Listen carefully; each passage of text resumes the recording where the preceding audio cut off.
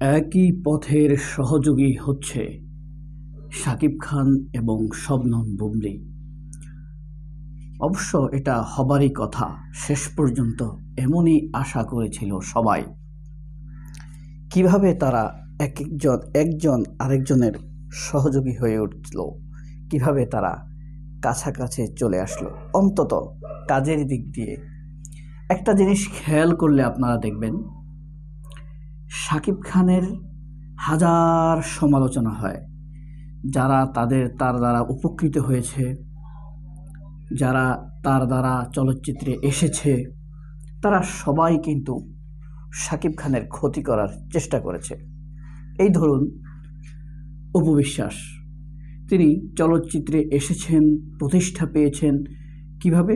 শাকিব খানের আশ্রয় প্রশ্রয় থেকে শাকিব খানের সাথে অন্যান্য যেসব নায়িকার সম্ভাবনাময় ছিল অভিনয় করার মতো আকর্ষণীয়, তাদেরকে শাকিব খানের কাছ থেকে দূরে সরিয়ে দিয়ে বিভিন্নভাবে দূরত্ব তৈরি করে শাকিব খানের ঘাড়ে দোষ চাপিয়ে অপবিশ্বাস একের পর এক শাকিব খানের সাথে সিনেমা করেছেন।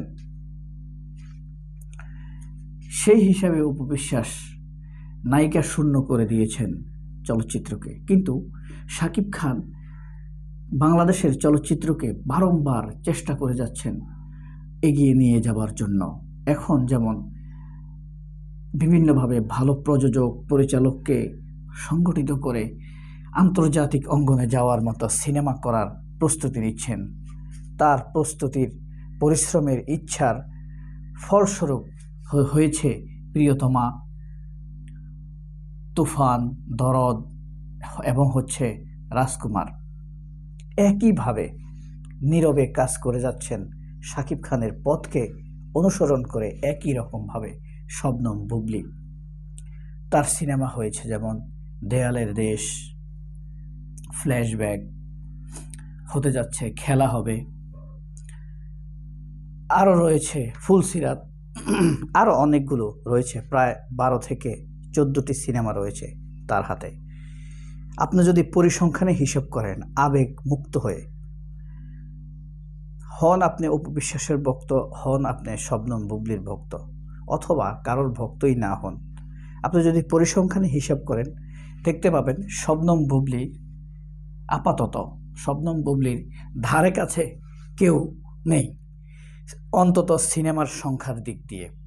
সুতরাং ঠিক শাকিব খান যেভাবে কাজ করে যাচ্ছে বাংলাদেশের চলচ্চিত্রের জন্য নীরবে নিবৃতে, এক পরিশ্রম করে যাচ্ছেন, সাফল্যও পাচ্ছেন।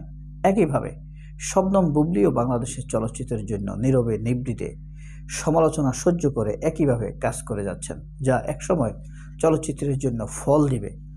এটা আমি মনে করি না যে একদম অস্কার এনে দিবে আপনাকে বা কান চলচ্চিত্রের কোনো বড় পুরস্কার এনে দিবে, এমনটি নয়। চলচ্চিত্রের যে ধারাবাহিকতা অন্তত, এই যে কঠিন সময়ে এই ধারাবাহিকতা রেখে একটির পর একটি সিনেমা করে যাওয়া, এটি হলো সবচাইতে বড় সাফল্য। একসময় কলকাতার চলচ্চিত্রে কোনো নায়ক ছিল না। এককভাবে পরিশ্রম করে গিয়েছেন কে? প্রসেনজিৎ। ধারাবাহিকতাটা তিনি ধরে রেখেছেন, অনবরত পরিশ্রম করেছেন। হয়তো খুব বেশি স্মরণীয় চলচ্চিত্রে অভিনয় করতে পারেনি এই প্রসেনজিৎ। কিন্তু একের পর এক চলচ্চিত্র করে তিনি ধারাবাহিকতাটা অব্যাহত রেখেছেন। এতে করে পরবর্তীতে এক সময় বেরিয়ে এসেছে দি, জিৎ, দেব সোহম এরকম কিছু না, অভিনেতা, নায়ক যারা এখন চেষ্টা করে যাচ্ছেন। অন্তত নতুন মুখ আসা পর্যন্ত তো চালিয়ে গিয়েছেন। শাকিব খান তার চাইতে ভালো চালিয়ে যাচ্ছেন তার অবস্থান থেকে। তিনি যে ব্লকবাস্টার সিনেমাগুলো দিয়েছেন আরও সম্ভাবনা, প্রিয়তমা দিয়েছেন আরও সম্ভাবনাময় আছে যেমন আপনার তুফান, দরদ, রাজকুমার, এসব আছে। সুতরাং এটা খুবই সম্ভাবনার বিষয়। তারপরে একইভাবে শবনম বুবলি শাকিব খানের পথকে অনুসরণ করে কাজ করে যাচ্ছেন। সুতরাং এটি স্পষ্ট। শাকিব খান যেভাবে বাংলা চলচ্চিত্রের জন্য নীরবে নিবৃত্তি একান্তে পরিশ্রম করে যাচ্ছেন, রায়হান রাফির সাথে হিমেল আশরাফের সাথে, আশরাফ আদনানের সাথে চলচ্চিত্রকে আন্তর্জাতিক অঙ্গনে নিয়ে যেতে চাচ্ছেন, সেটিই করছেন শবনম বুবলি।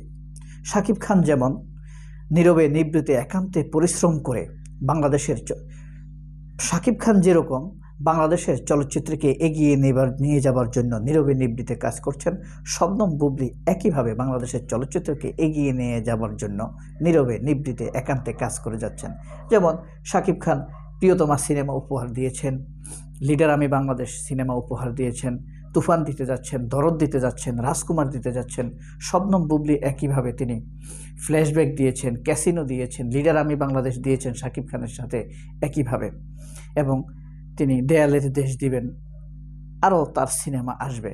সুতরাং শাকিব খান এবং শবনম বুবলি একে অপরের দারুণ সহযোগী হয়ে উঠেছেন। এক্ষেত্রে উপবিশ্বাসের ভূমিকা কেবলই উদ্দেশ্য প্রণোদিতভাবে শাকিব খানের প্রশংসা করে নিজের দর্শক সেন্টিমেন্টটি জিয়ে রাখা, দোকান উদ্বোধনের বিষয়টি জিয়ে রাখা, কারণ তার দর্শকপ্রিয়তা শূন্যের কোঠায়। সবাই অনেক ভালো থাকবেন। আল্লাহ হাফেজ। আসসালামু আলাইকুম।